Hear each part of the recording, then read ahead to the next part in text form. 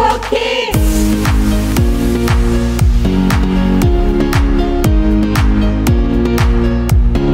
PK Kids!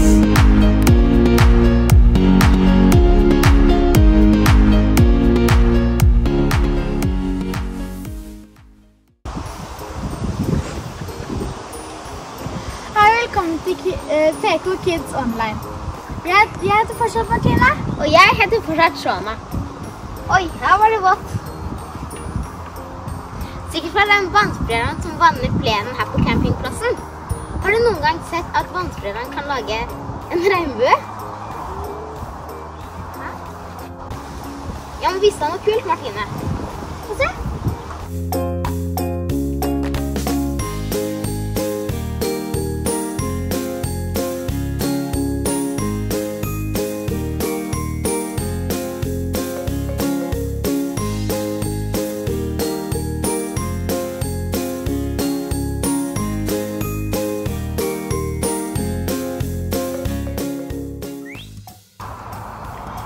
Bibelen står at det var Gud som skapte regnbuen som et løfte for alle menneskene. Bli med til bonden, der regner det i dag.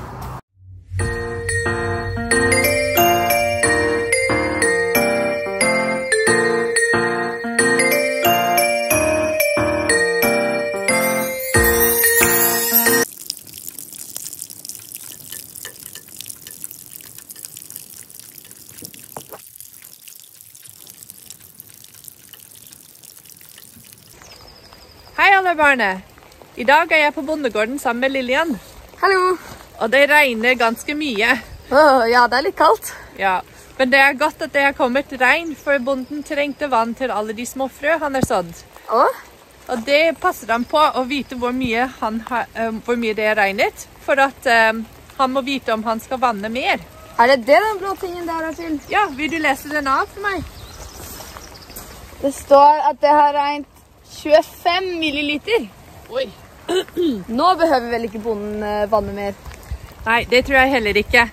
Det må, eh, det må komme ganske mye sol og varme for å tørke opp alt regnet nå, før han må vanne igjen. Åh, ja, sol og varme. Skulle gjerne vært i ørkenen nå. Ja, Men det kommer faktisk litt regn i ørkenen også.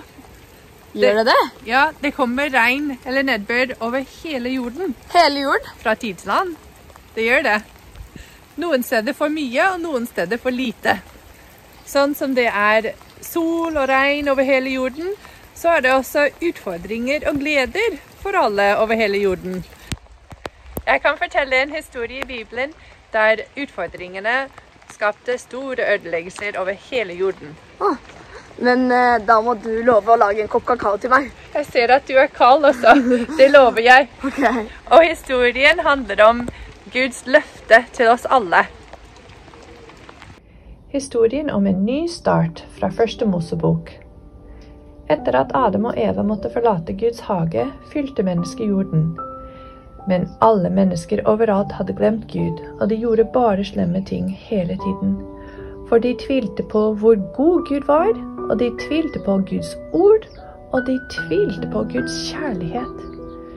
Gud fikk vondt i hjertet da han så hva som hadde skjedd, for han elsket skapningen sin så høyt. Men det fantes også en mann som het Noah. Han var Guds venn. Noah hørte på Gud og snakket med ham. Gud sa, Noah, det er mye vondt på jorden. Jeg har en plan, og det første vi må gjøre er å bygge en ark. Det skal komme en veldig storm, sa Gud. Men jeg skal redde deg, det lover jeg. Jeg skal sende dyr til deg, dyr som kryper og krabber, hopper og spretter. Ikke glem å ta mat til alle sammen. Og nå bygde en ark, som er en veldig stor båt. Naboene lo av Noah, men Noah brydde seg ikke om hva naboene sa. Han brydde seg om hva Gud sa. Da arken var ferdig bygd, sa Gud, stig om bord alle sammen. Og Noah og alle i familien hans og alle dyrene marsjerte inn. Og så begynte det å regne. Store mengder regn samlet seg til dammer, som ble til elver, som ble til sjøer, som ble til en flom, som dekket hele verden. Endelig sluttet det å regne, og solen kom ut. Noe åpnet vinduene. Hurra, ropte de! Og der oppe blant skyene, der stormen møter sola, kunne de se en vakker regnbue av lys i mange fine farger. Guds verden hadde fått en ny start. Og akkurat som den verden fikk en ny start, kan vi bli minnet på den når vi ser en regnbue. Gud hadde en plan med en redningsmann. Og den redningsmannen, Jesus, fullførte planen på korset. Når vi ser regnbuer, kan vi stole på at Guds nåde gjelder for oss nå, som det gjorde for Noe og familien hans da. Oi, det var jammen meg godt at Gud hadde en redningsplan for oss, da. Fordi noen ganger tviler jeg også på Guds kjærlighet. Ja, det gjør jeg også. Og på grunn av det Jesus gjorde på korset, kan vi alle ta imot Guds nåde Ja. og leve med glede og kjærlighet i hjertene våre. Skal vi be? Ja, det gjør vi.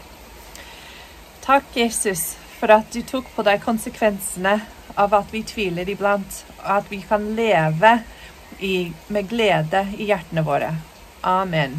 Amen. Og husk, Gud har skapt deg enestående unik, og han elsker deg med sin ustoppelig, ubegrensede, evige kjærlighet. Ja. Ha det! Ha det! Det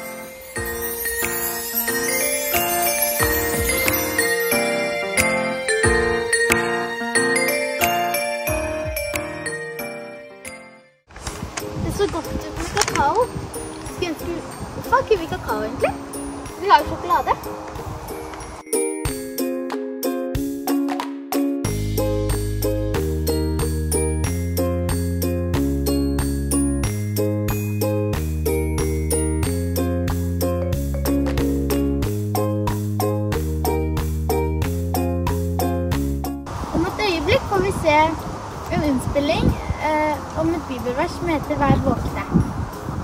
Ja, det var jeg og Shona som spilte det inn tidligere. Nå har vi tenkt å øve med alle dere der hjemme, så dere kan også lære bibelverset. Vær våkne, stå fast i troen, vær modige og sterke. La alt dere gjør, skje i kjærlighet. Vær våkne, stå fast i troen, vær modige og sterke. La alt dere gjør, skje i kjærlighet.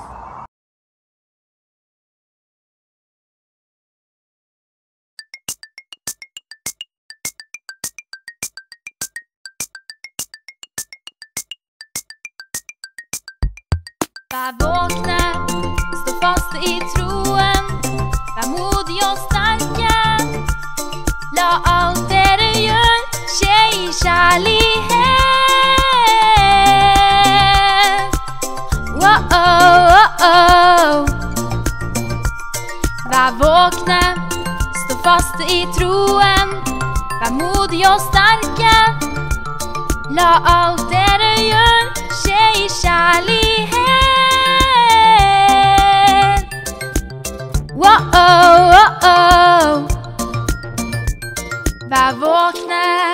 Stå fast i troen.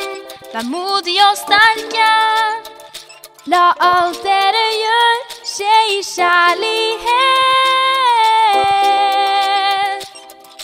Wow-oh-oh-oh. Vær våkne, stå fast i troen. Vær modige og sterke. La alt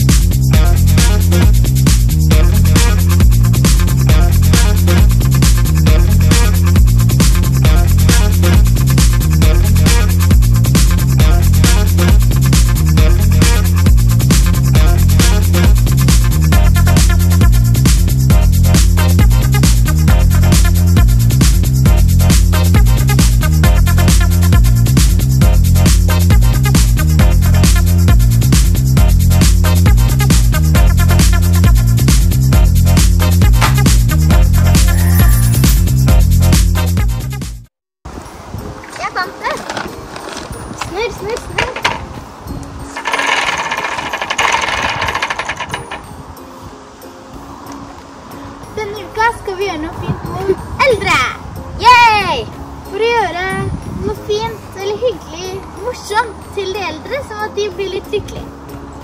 Synge en sang for deg. Tegne brev. Lag en tegning. FaceTime hvis de klarer det. Husk å sende inn tegning til det som står her nede. Det. Det har flere av dere gjort denne uka.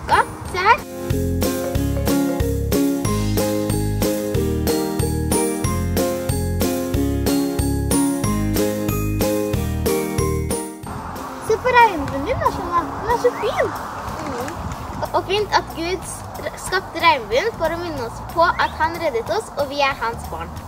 Ha det. Vi ses neste gang!